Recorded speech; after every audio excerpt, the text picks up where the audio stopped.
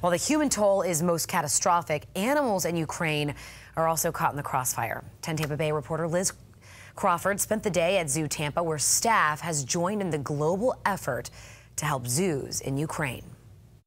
In the early days of war, some evacuated, some fought, and some made the choice to stay. These Ukrainians are in so much trouble right now, and nobody ever really thinks about the zoos that have to be left behind. A small group of staff at a Kiev zoo stayed back to care for approximately 4,000 animals. Two lions were evacuated after a five day journey that began with an encounter with the Russian army. They were stopped by the Russian army.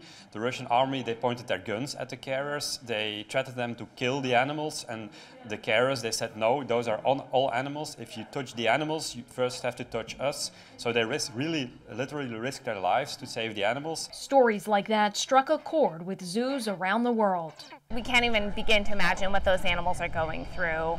Um, for the staff, I'm sure they're terrified, but their dedication to those animals is amazing. And um, I mean, brave doesn't even begin to describe it. Zoo Tampa joined in the global effort to send money and supplies to zoos in Ukraine. It actually goes to supporting the animals um, and supporting those facilities in need. Although what's happening is beyond most of our comprehension, the caregivers here at Zoo Tampa have an idea of what it's like to comfort animals during stressful times. Them staying with their animals doesn't surprise us at all. We are very familiar to that, especially here in Florida.